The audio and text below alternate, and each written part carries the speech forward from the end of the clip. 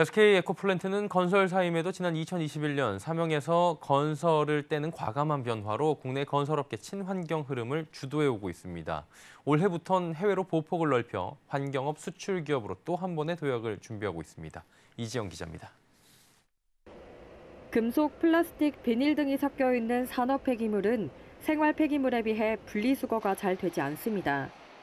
사람이 일일이 골라내는 작업을 할 수밖에 없는데 이마저도 육안으로 골라내기가 어렵다 보니 플라스틱 등이 소각적으로 보내지며 대기 오염으로 이어졌습니다. 이를 해결하기 위해 SK 에코플랜트는 AI 폐기물 성상 분석 알고리즘을 통해 재활용 가능 폐기물 선발률을 높이는 기술을 미국 CES에서 선보였습니다. 환경과 에너지, 그리고 디지털 기술까지 더해 해외 영토 확장에 나선 겁니다.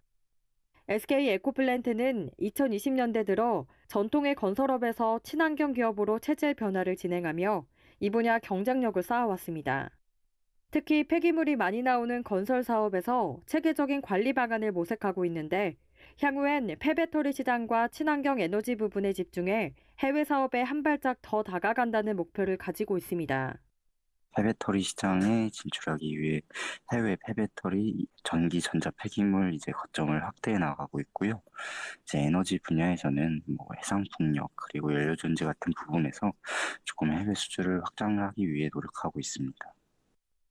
친환경 사업으로서는 이제 막 해외 진출을 시작한 셈이지만 이미 기술력과 혁신성을 인정받고 있습니다. SK 에코플랜트는 두 번째 참가한 이번 CES에서 디지털을 이용해 폐기물 배출부터 최종 처리까지 전 과정을 데이터화하고 효율적으로 관리하는 서비스인 웨이블로 혁신상을 수상했습니다. 또 세계 최대 스타트업 플랫폼을 보유한 글로벌 벤처 캐피탈 플러그앤플레이와 업무 협약도 맺었습니다. 환경과 에너지 사업과 관련한 기술을 보유한 스타트업을 발굴하고 투자에 나서는 것을 골자로 합니다. 서울경제TV 이지영입니다.